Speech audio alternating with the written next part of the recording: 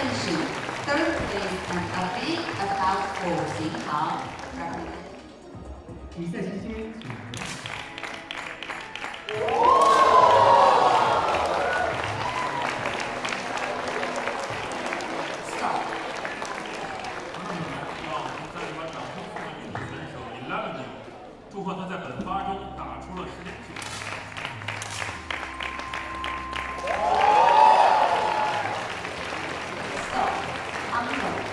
高阿เ